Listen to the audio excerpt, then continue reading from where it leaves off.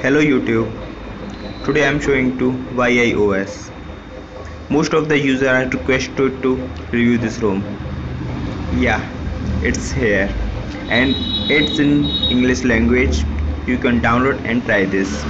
All the sensor and camera is working. You want to see that? Let me open the camera.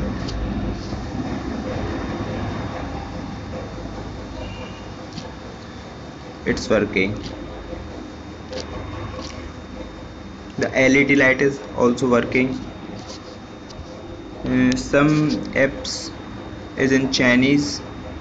You can remove the apps like this one.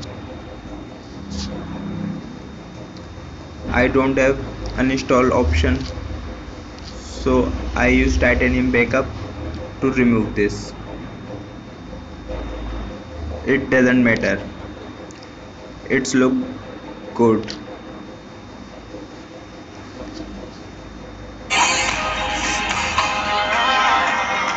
The sound is working.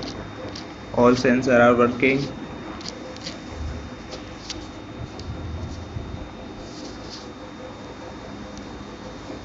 It's based on 5.1.1 lollipop it's very tricky game. Yeah that's all about in this video. In next video I am showing to all features about this ROM. So do subscribe and hit like button.